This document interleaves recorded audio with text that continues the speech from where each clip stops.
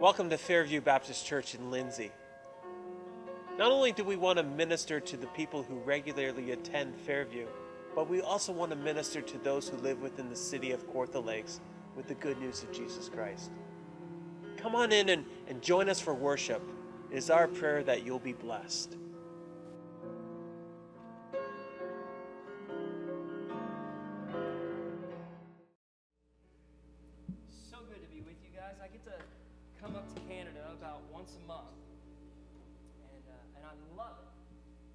Usually because usually I love it because it's so much cooler here than it is down south.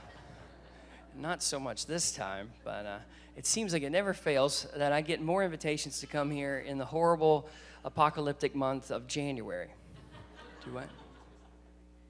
Oh, I'm sorry. He's reminding me that I need to dismiss the children because uh, there's a fear that I would bore them literally to death. And so, if you are a child and you would like to escape total boredom, you are dismissed to go have way more fun than we're about to have here today. So, I was told that they know where they're going. And look, right on cue, they know exactly what they're doing. It's fantastic. All right, you're not missing anything. Uh, we're going to basically read the Old Testament, Leviticus, in Hebrew, uh, and then spend 30 minutes in silent prayer. There'd be no cookies or juice. It's not going to be fun at all. But it's good to be here. I usually get invitation. Most of my invitations to come to Canada happen in the horrible month of January. Uh, I just want to remind you that there's a lot of land south of here uh, that's wide open, and you're welcome to come. I don't know why you would live here in January. It's really, really horrific. But you're hardy, wonderful people, and uh, maybe that's why you're such sweet people. Something happens in hardship, right? Because the Bible says that perseverance produces character, and you guys have amazing character. You're just so kind. I've never heard the word sorry more in my life than when I come to Canada. Like, you don't need to be sorry. You don't really, you don't. It's okay. It's my, no, it's my fault. I'm sure it's, no, it's my fault. No, it's my fault. No, it's my fault. Uh, so and it's always good to be with you guys. Thanks. And you're amazing singers, fantastic singers, really great. Usually men don't sing. So way to go, men. Yes, way to stand up. You actually sang. That's fantastic. Well, if you have your Bible, you can turn to Exodus chapter 16, and that's where we'll be at the beginning of the service.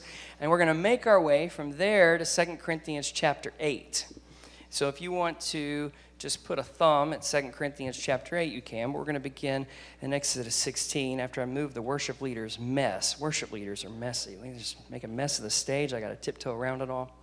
And so that's where we're going to be. Now, I want to start with a very foundational theological premise. All right? This is where we'll begin. I believe with all my heart that God is Southern.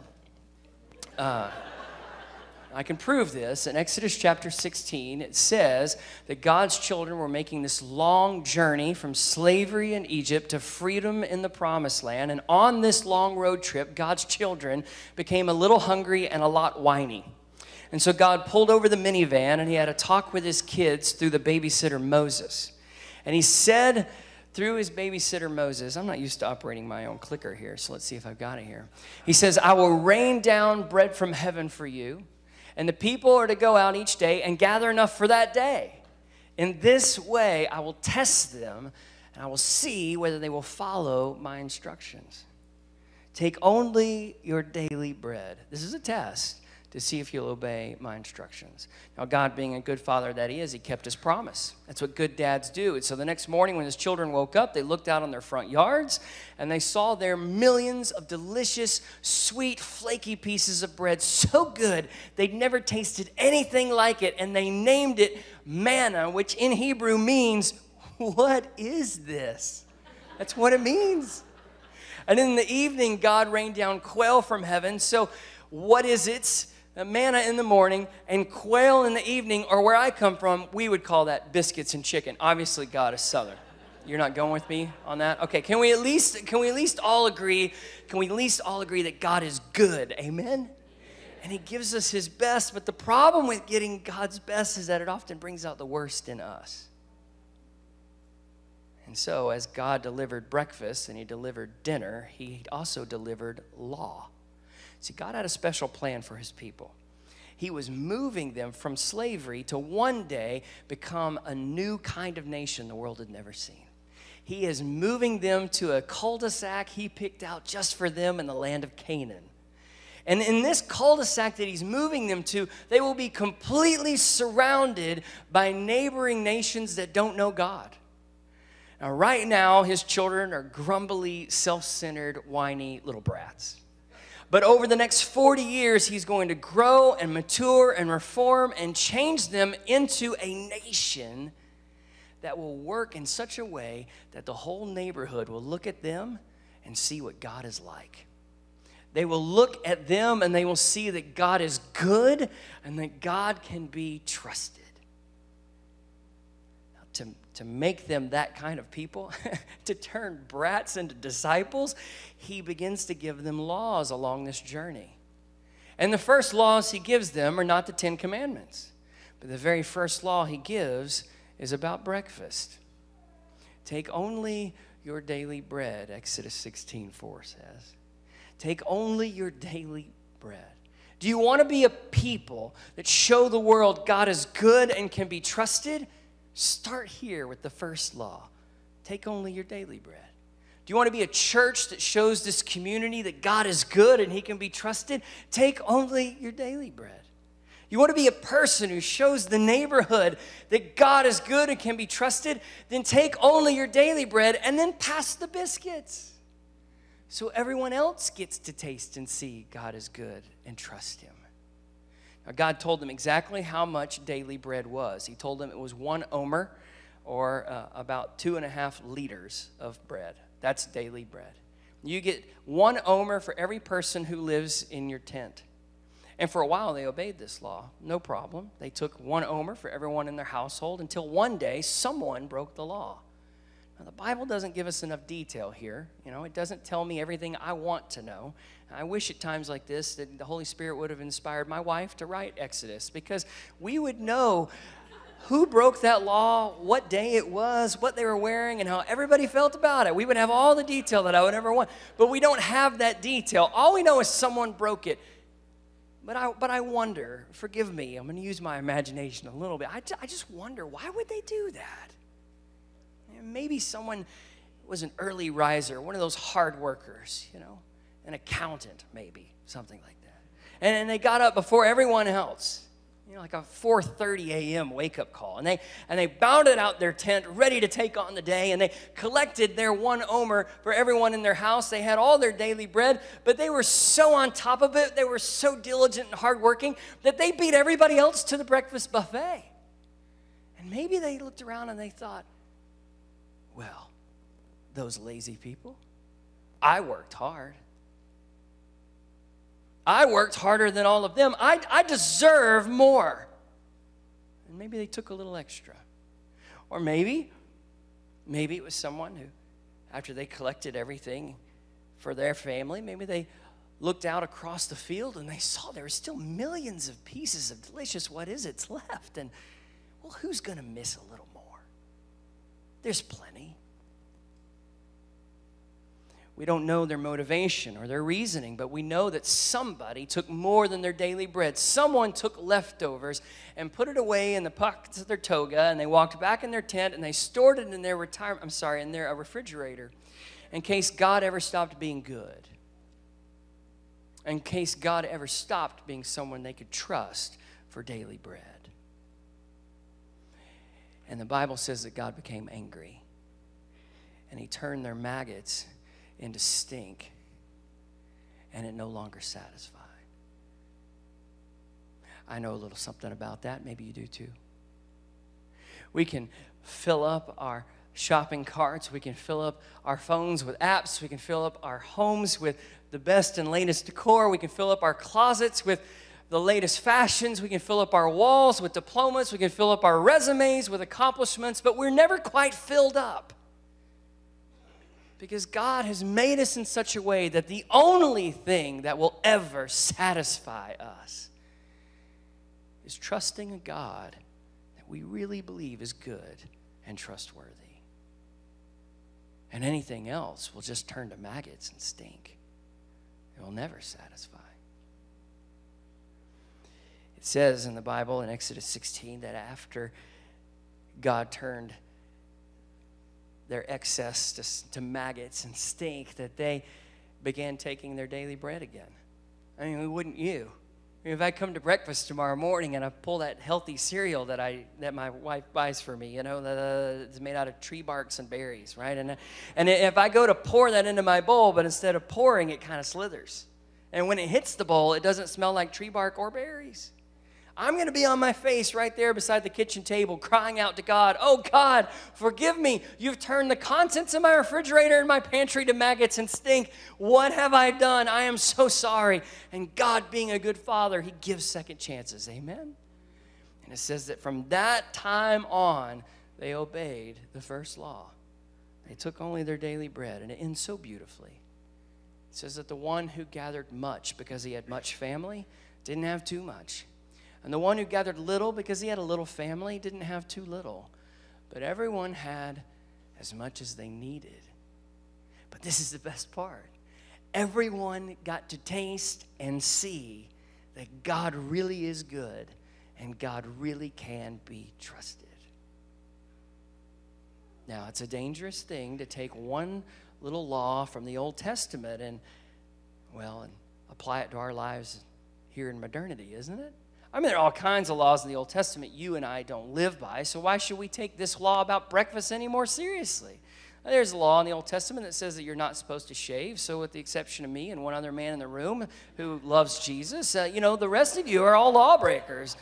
And there's a law that says that you can't mix the fibers of your clothing. It's right there in Leviticus, right after the shaving law. It says that everything on your body has to be made out of the same stuff. So if your pants are made out of cotton, everything else on your body, I mean, the things that we can't see and none of us really want to see, it's all got to be made out of cotton, or else you're a lawbreaker. Why aren't you taking that law more seriously?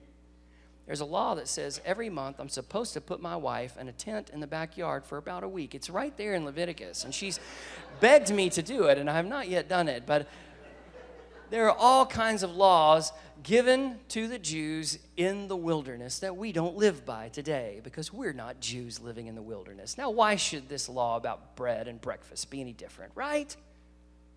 Well, not so fast. You see, there are other laws given to the Jews in the wilderness that you are living by this morning. Like, for instance, thou shalt not lie, shouldn't have any other gods before me. You should keep the Sabbath day holy. I mean, if you don't care about laws given to Jews in the wilderness, why on earth are you here this Sunday? What about that law? It says that you should love your one and only, and only that one and only. And when you stood before that crowd of witnesses and you took her hand, you took his hand, and you pledged, I do until death do us part. Why would you do that? You only did that because the law was given to Jews in the wilderness. Why are you living by that? So, how do we decide? How do we decide which laws of theirs become laws of ours? Well, one way is to read the New Testament and to look for Gentiles, that's non Jewish, Christians, Gentile Christians who are living by Old Testament Jewish laws. If you can find a Gentile Christian living by an Old Testament Jewish law in the New Testament, well, you got to at least pause and say, hey, maybe I'm not off the hook either. So let's do that. In Galatians chapter 2, verse 10. Galatians chapter 2, the Apostle Paul is sent out as the very first missionary to Gentiles, not to Jews. He's being sent only to the Gentiles, the very first messenger of his kind. And he's being sent to them to preach the good news of Jesus Christ, crucified, buried, and resurrected for the forgiveness of sins. And he's there in the church in Jerusalem on a Sunday morning, and they lay hands on him, the pillars of the church, James, Peter, and John, and they pray for him as he begins his missionary journey and they give him one piece of instruction as he heads out those doors. They said to him in Galatians chapter 2 verse 10, all they asked was that we should continue to remember the poor, which is the very thing I had been eager to do all along. That word eager means a fervent desire, a desire so strong that it cannot be stopped. Do you have a fervent desire that cannot be stopped to care for the poor? Who were the poor? Well, we see where this eagerness comes from when we understand who the poor were that he was talking about. We believe now that about 80% of the Christians living in Jerusalem in the first century we're living in poverty. The Bible defines physical poverty as not having daily bread. The Bible defines middle class, though it doesn't use that word, as having daily bread. And the wealthy in Scripture are those who have more than daily bread. You've got bread for today and for tomorrow. You're rich. So the poor in this verse are the 80% of the Christians in the church that day who didn't have food to eat every day. So Paul looked out across the sanctuary that day, and he would have seen fathers with tears still wet on their cheeks from burying little ones too soon. He would have seen listless toddlers, stoic, starving. Malnourished infants sitting on the laps of mothers whose breasts were depleted of milk. And what they were saying to him was, Paul, as you go and you preach the gospel, don't forget about us. And because Paul knew the poor, because he had looked into their eyes, because he knew their names, because he had a relationship with them, he was eager to care about them. You couldn't stop him from caring. I'll be honest, for most of my life, poverty, the poor, was something politicians talked about. Maybe economists gave statistics about. Maybe a pastor might mention. But I didn't know any.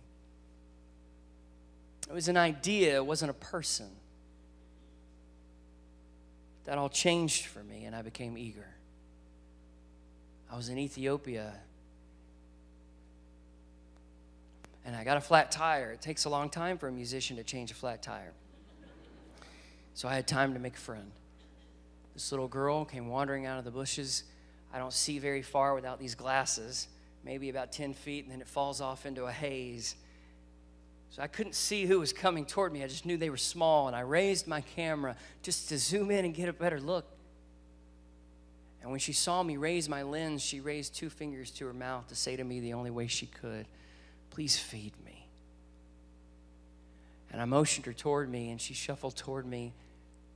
And I took in the details as she became clearer. Her skin was not the beautiful brown God meant it to be, but it was an ashy gray. Her eyes were runny, her nose was crusty. Her hair was rusting around the edges, a symptom of malnutrition. She came even closer. I noticed that dress she was wearing was someone else's shirt, far too big for her. She was missing toenails. She came even closer, and tried to make her laugh. I love kids. And I just couldn't get her to crack a smile. It's like she was there, but she wasn't there. Just barely alive, shuffling toward me. I put my hand on the back of her head to pray for her, and I felt huge slick spots where starvation had robbed this little one of her hair. I pulled her toward me and held her tightly as I prayed for her, and I felt her skeleton press into my, my squishy middle.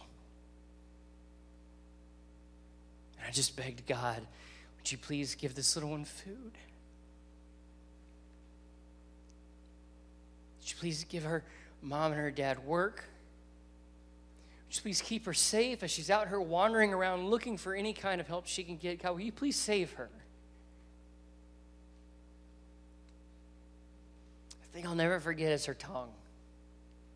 Swollen and bright red, huge, so big she couldn't close her mouth around it. Even if we spoke the language, she couldn't have spoken to me. And I've never forgotten her. I never forgot walking her to the nearest church I could find, taking her to the pastor and saying, I don't know where she comes from and I don't know her name, and I don't speak her language, and I don't think she speaks, but can you please take care of this one? And he promised that he would, but I don't know what happened. As I drove away, I could still see her in my rearview mirror, and every time I close my eyes, I can conjure her image as if she's right here in front of us this morning. It is not hard for me to remember the poor because they're not a number, they're not a theology, they're not a plank in a political platform for me. It's a person And if you're not eager to care for the poor, if this morning is a chore that you have to sit through, if you're just hoping I will finally shut up and you can go to lunch, if there's no eagerness, no passion, no fire in you to have compassion on the poor, and I wonder, brothers and sisters, could it be because you don't know any? Because you've asked your politicians to care for them so you can keep a safe distance? You've asked your missionaries to care for them so you can be safely miles away. I dare you, I challenge you, I beg you, get out of your neighborhood and look into the eyes of someone who does not live the kind of life you do, not to pity them, but to get to know them, to learn to love them, to hear their story so they're not just a number anymore to you. That's where eagerness comes from. Now let's go to Second Corinthians chapter 8. All of that gives us the context to understand this verse. Second Corinthians chapter 8, the Apostle Paul made good on his promise to remember the poor. And he went out into the world as he had been called and he preached the good news of Christ. And when he did, tens of thousands of people responded and came to faith in Christ. And they gathered together in churches in places like Galatia and Corinth and Antioch and all these places across the empire. And when these churches, these bodies of believers, reached a state of maturity, then the Apostle Paul would give them the gift of being able to give. This is how Paul remembered the poor in Jerusalem. He asked the mature believers in the rest of the empire to pass their biscuits. He first would write them a letter telling them about the need among their brothers and sisters in Jerusalem. They don't fly your flag, they don't have your color of skin, they don't have your shape of a nose, but they're your brothers and sisters because you call the same God Father. And then he would ask them to create leftovers.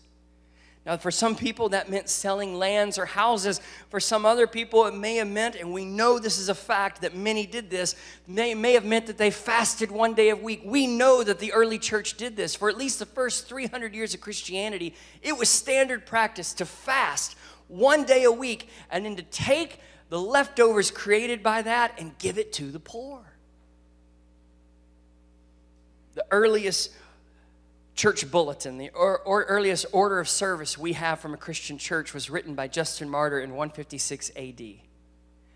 And it describes a church service. He was writing to Caesar because Caesar thought that we were cannibals. You know, when you say we get together because and we have the Lord's Supper because Jesus said, "Eat my flesh and drink my blood," that's a little scary to Romans. And so he wrote a letter saying, No, no, no, we're not diabolical. Here's what we do when we get together. And he said, There's only three things that every Christian church does. No matter where they are in the world, there's three things every Christian church does when they get together it's not singing, it's not preaching.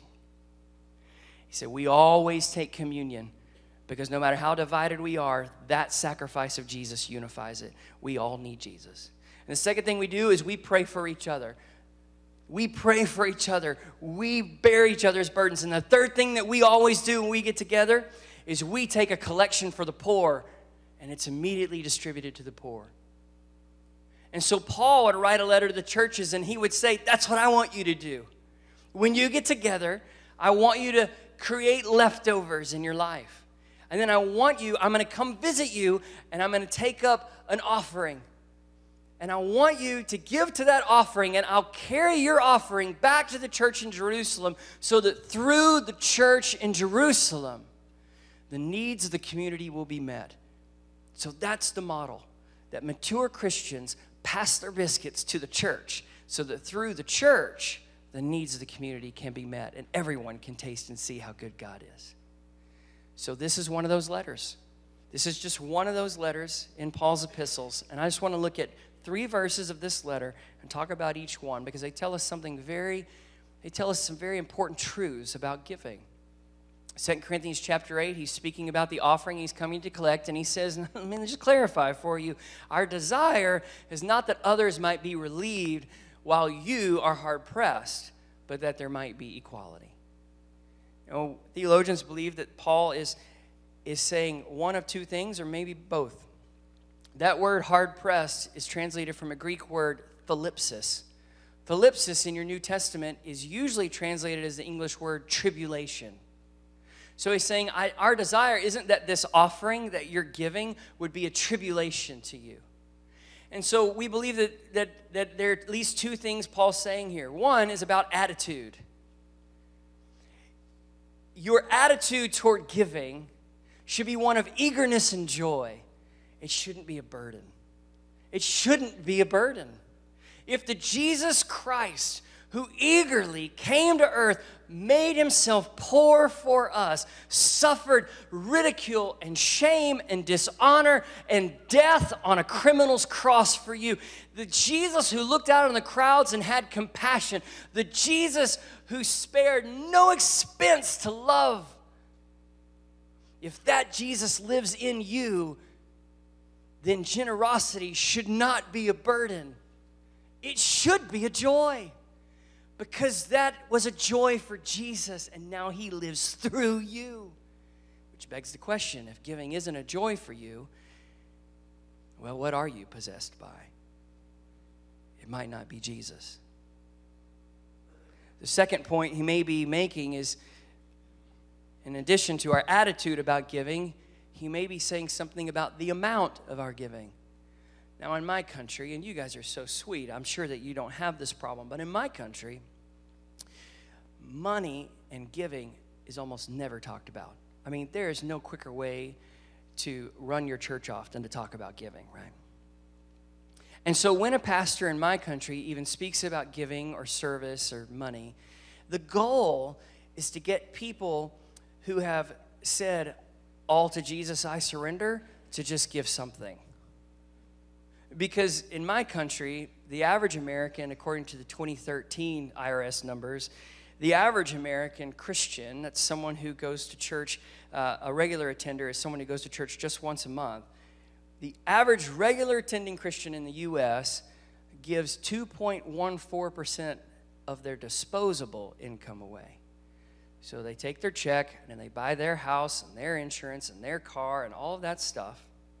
And then out of what's left, they give 2.14% of that away. Now, the Old Testament, the government and the church were one thing. It was a theocracy. You don't live in a theocracy, and neither do I. But under the theocracy, the tax was 10%. When we get to the New Testament, 10% is never mentioned. You are never instructed in the New Testament to give 10%. My wife's an accountant. She's an auditor. She loves numbers. Like, just give me a percentage and we'll give it. So I said, well, if I have to give you a percentage, then I'd have to go with 50. Because Jesus said, love your neighbor as you love yourself. She didn't really like that. So there's no percentage really in the New Testament. That means that we're free to give as much as we're compelled to give. And in my country, that's very little. I'm sure you don't have that problem, though. So, our goal in the U.S. is to try to get people to just give something. That's most people. In a typical church, about 80% of the people do nothing, 20% of the people do 80% of the work and the giving. So get people who don't give anything to give something, and to give those who give something to just give a little bit more, and to get them to do that joyfully. I mean, it's an impossible task.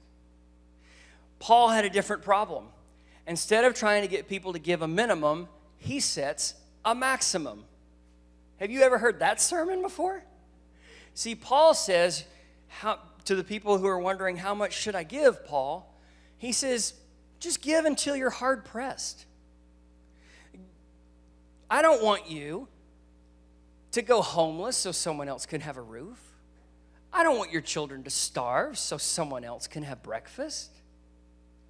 So you get to give as much as God compels you to give, as much as you can give joyfully, but just don't give too much. Wouldn't you love to hear that sermon?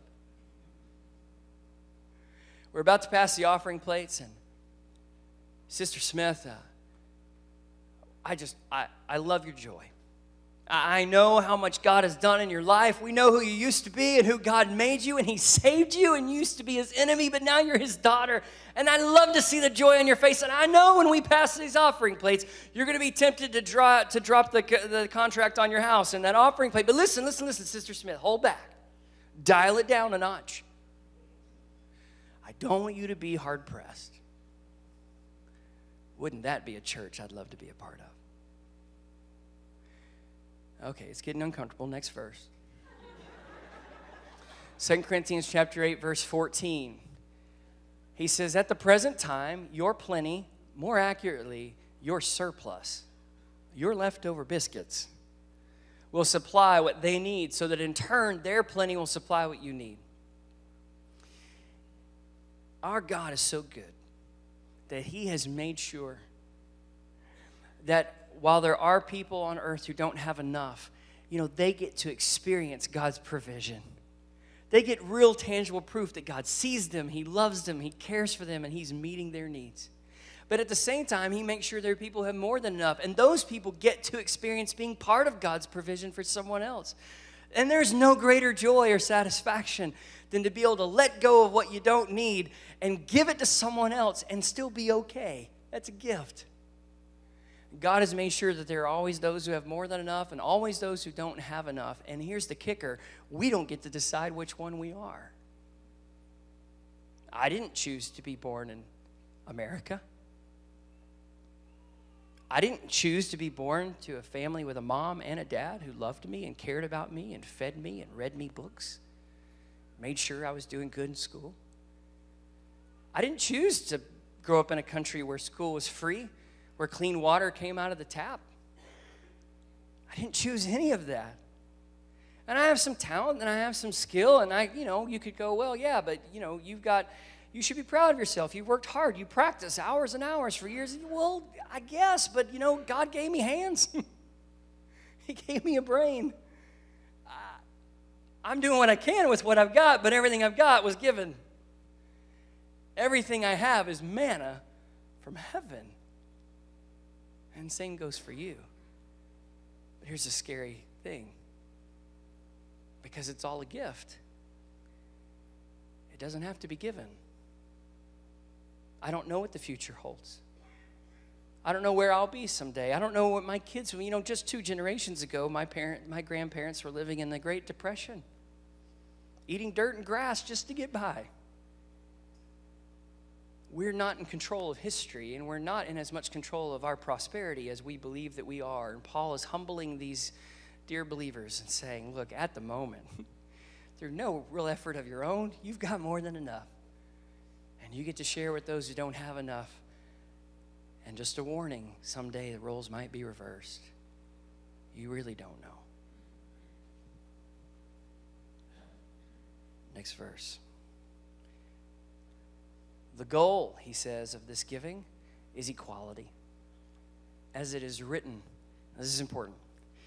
We're in a, you may have heard, we're having a bit of election in my country.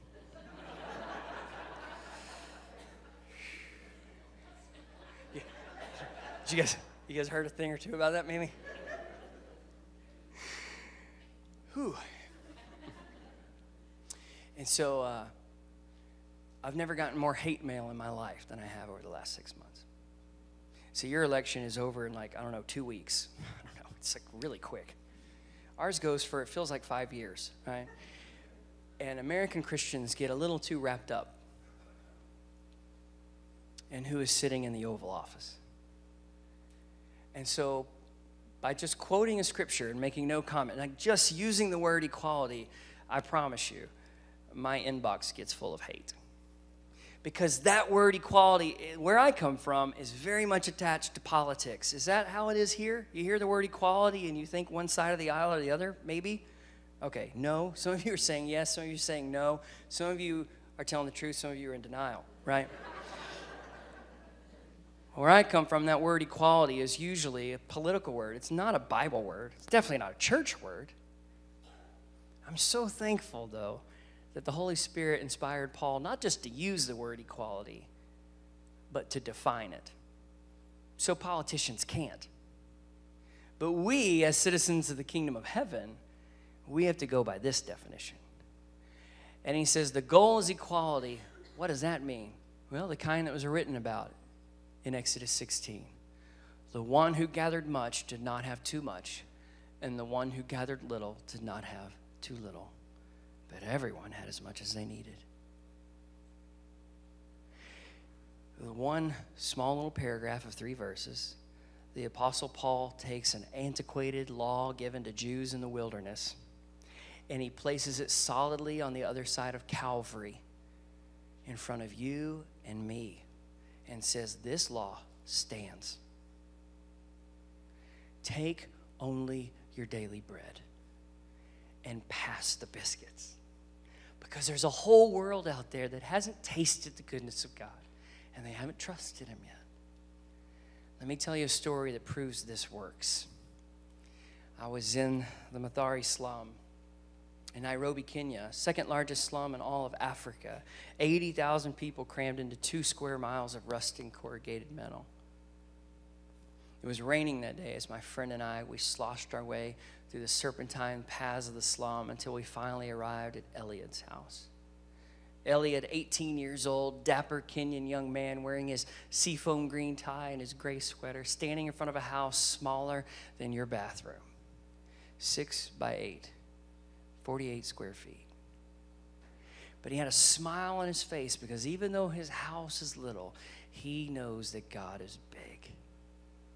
He told us his story when he was five years old. That's not in the right place. I'm sorry. I'll just keep it on that. When he was five years old, his mother passed away, leaving his father to care for him all by himself. Elliot's father works as a day laborer. Day laborer is the most common occupation on the planet. Out of 7 billion people on earth right now, roughly 2 billion of them work as day laborers. Day laborers go out every day and they take any job they can for any wage that's offered. There is no ability to negotiate a better wage. And if at the end of a hard day's work you aren't paid, there is no legal recourse. There are no benefits packages. There's no pension plan or retirement at the other side. But out of desperation, they work every day for anyone they can for any wage. And working as hard as Elliot's father couldn't earn just $2 a day. It's not enough money to put food on the table. So Elliot's father began to starve himself, skip meal after meal, just so his boy could have something in his belly, and it wasn't much. A little rice, a few beans, a plantain once a day. He said there was a special occasion he can remember, a, a particularly incredible day when he, his dad surprised him. He couldn't remember if it was Christmas or if it was a birthday, but his dad came through those doors at the end of a hard day's work with a piece of meat they got to share. Now, a little one who doesn't get proper nutrition, their immune system wears out, it wears thin, and Elliot's did. He was constantly battling sickness, and there was no money to go see a doctor. So he would just hope and wait. Now imagine if you were in that situation here in Canada. If you were born into what we call poverty, you could still escape because of school. Your government provides free school. Now, I can't convince my four kids that school is a gift from God, but it really is. It's a powerful gift. So stay in school, kids uh, and set your sights higher than being a musician. You can do better, right? But if you work hard enough in school for free, then in about, I don't know, what is it, like 50 years, you finally get a diploma, right? It's this magical piece of paper that opens up a world of options and possibilities for you, and you can almost certainly give your children a better life than the one you were born into. But that's not how it works in most of the world. Elliot could go to a Kenyan public school, but he'd have to pay for it like private school here he'd have to buy the books and the backpack and the uniform and the shoes and the meal. And on top of that, he'd have to pay fees to pay the salaries of the teachers. So, how can a father who can't afford to put bread on a plate afford to put books in a bag? It's a hopeless situation that millions find themselves in. But for Elliot, at the end of his rope with no other options, with no way out, at just the right time, a knock came on the door. And standing at the door that day was a pastor from a church right there inside the slum. And that pastor, Elliot said, talked like a crazy man. He made promises that just couldn't be true. he told Elliot that he would not go to bed hungry anymore. He told him that if he ever got sick with a toothache, a stomach ache, something truly life threatening, that there would be doctors and dentists and nurses and counselors to put him back together again. He told him that he could go to school and the backpack and the shoes and the, all of it, it would all be taken care of. And if he worked very hard and if he was very smart, he could even go on to university. If he wasn't that smart and if he wasn't that hardworking, you know, maybe he's a musician. He said it's okay. While you're working on that high school diploma, we're also going to teach you a trade. We're going to teach you how to, how to work computers or, or how to fix things with your hands or how to build things out of steel. But we're going to teach you a job so that when you graduate, you'll graduate into a job and give your children a better life than the one you had. Poverty is going to end with you, he promised. But that's not even the best promise he made. Best promise is when he looked Elliot in the eyes and he said, God sees you. God loves you. And God has a plan for your life. And that was the day everything changed. Because that was the day that Elliot became one of Compassion's children. Compassion International invented child sponsorship in 1952. And to this day, they're still the highest rated child sponsorship organization of their kind in the world. In fact, they're in the top 1% of all charities worldwide. And they work in a beautiful and now you know very biblical way. Because compassion we believe that the most powerful thing on earth is not a government. Canadians, you need to hear me on this. The most powerful thing on earth is not a government and it's not a corporation, but the most powerful thing on earth is the body of Jesus Christ, the local church. And so, always and only through the local church around the world in 26 countries, Compassion International meets the physical and spiritual needs of children, little ones born into families that earn less than $2 a day every child cared for by a church. And every child receives five things education, health care, proper nutrition, clean water to drink, and most importantly, a Bible and the gospel of Jesus Christ.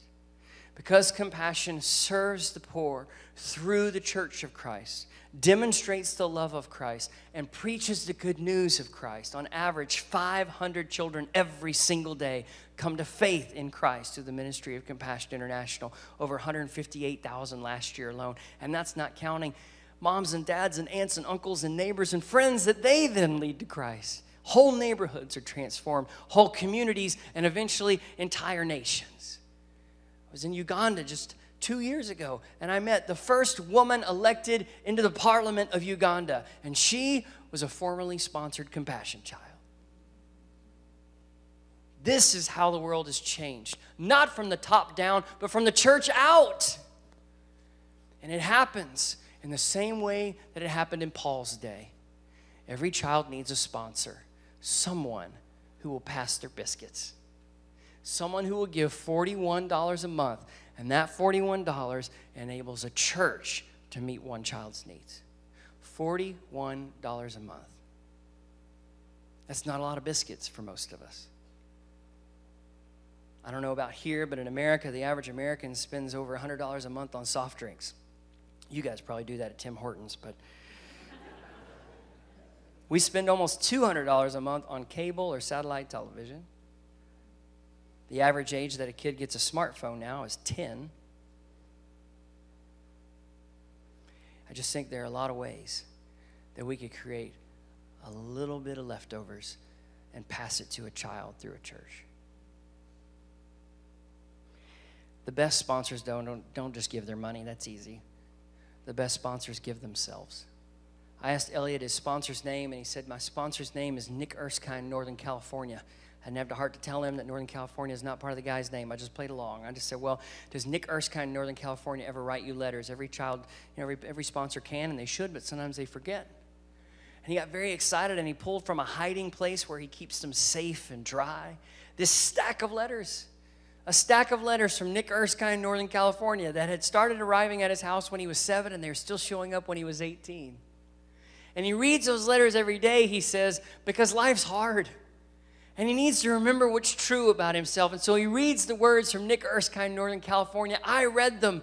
I love you so very much, he said. I am praying for you today. I am so proud of the man that you're becoming. Don't you quit. I believe God has a big plan for your life. And he keeps going. I wanted so badly that day for Nick Erskine in Northern California to be with me in Elliot's house. You know, because the best of us are skeptical. And I wanted him to see with his own eyes what I got to see. That the $41 he gives to compassion, it goes where they say it's going to go, and it's done everything they said it would do. I wanted to see the letters he wrote. They arrived and they were treasured and powerful in his life. But I couldn't afford a plane ticket to bring Nick all the way to Elliot. So I brought Elliot to Nick. And I may need some help in the back getting this video to work. You guys watch this. Can you, can you fire it up for me? Okay.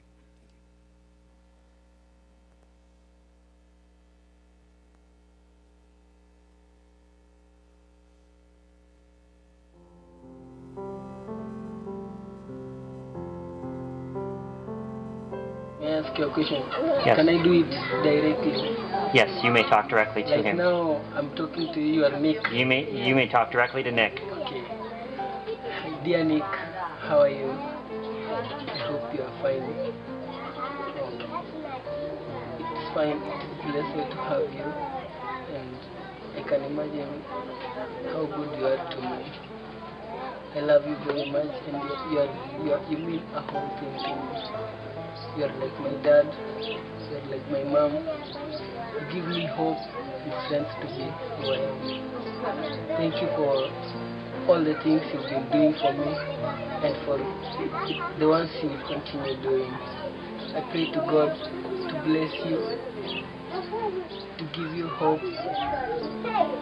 to encourage you, to also support others who are in need. God bless you. As we exited Elliot's house, um, I looked up above the door and I saw some writing, some green handwriting. And I watched as Elliot placed his hand beside those words, bowed his head, just silently prayed them before exiting into the darkness of the slum. God loves me. How does he know that? Enough to feed me, bless me, and give me hope for the future. Amen. God loves you enough to bless you with more than enough to bless someone else. To give someone else bread so they will know they are loved by God. To allow someone else to taste God's goodness and to trust Him. Do you want to be the kind of person who shows the world what God is like, start here. Take your daily bread. Open your hand on everything else and just simply ask God this morning, where do you want me to pass it? Can I make a couple of suggestions where you might be able to pass your extra time, talent, energy, and resources? Start here. If this church is typical, 80% of you give nothing no time, no energy, and no money. In my family, my four kids all have responsibilities. And if they don't do their responsibilities, well, we don't have clean dishes to eat off of. We don't have a mowed yard to walk through. Life falls apart if everyone in a family doesn't do their job. Start today treating this like a family because it is and give here first. If you've never put money in the offering plate, that ends today. If you've never volunteered your time, that can end today. I know that you need people to help in children's ministry. I've never been to a church that says, wow, we have a waiting list of people who are eager to teach two year olds. It's never happened. And I know that you need people to mentor youth. I am who I am today because two Sunday school teachers forever changed the direction of my life. You could be used by God to do that. Beyond this church building, what's happening in your city and in your neighborhood?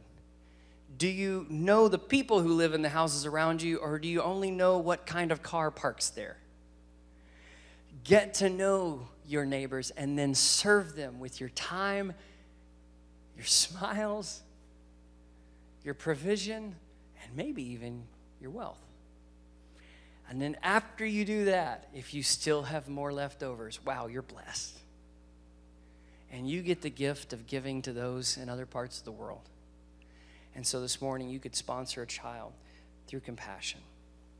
On the table out there in the lobby, there are a zillion of these. That's an approximate number, approximately a zillion of these Compassion Child sponsorship packets.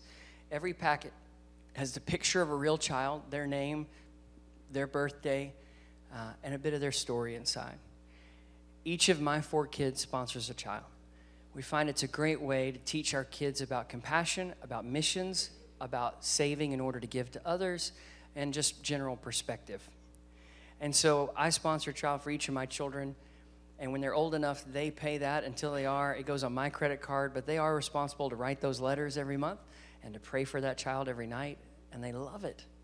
So perhaps you could pick up a child for every child in your family or um, every grandchild who's been completely messed up by your children. You could fix that by sponsoring your grandkids a child.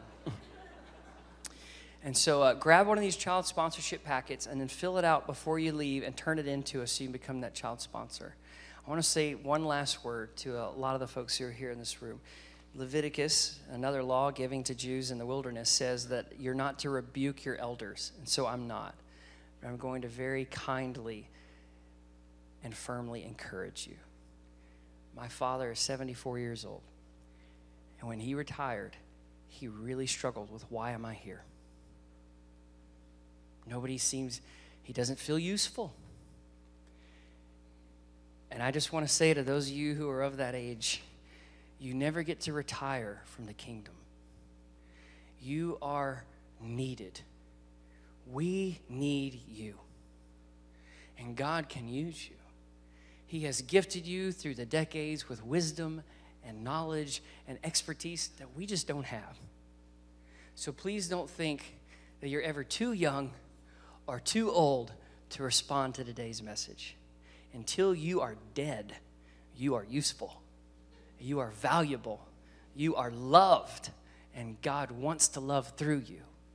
Let me pray for us and we'll dismiss. God, thank you so much for this opportunity to be with my brothers and sisters here in Canada. I just thank you so much for them. I, I thank you for this church that is generous to folks around the world and in this community. I just ask you to continue to bless them.